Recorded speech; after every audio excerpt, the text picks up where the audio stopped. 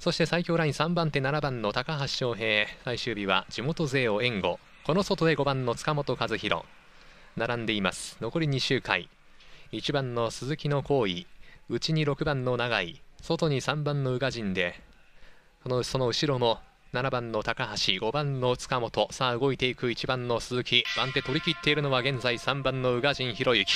永井隆一は外目を使って追い上げてきました。連れて7番の高橋翔平。さあこの番手3番手は内外入れ替わる形で先頭1番の鈴木薫ペースを上げ残り1周。6番の永井隆一さあ番手を再度奪い取ります。3番の宇賀神が3番手で7番高橋との競り合いと変わる。しかし6番の永井隆一鈴木とは離れていく。最終バック。まくっていくのは4番の甲斐康明2番の北村孝之の群馬両者。さあ先頭逃げる1番の鈴木薫振り切って5写真リード。直線に入ってって2着争い4番の甲斐に2番の北村群馬勢の争い。鈴木薫快勝ゴールイン2着は2番の北村揃えているか。4番甲斐と接戦です。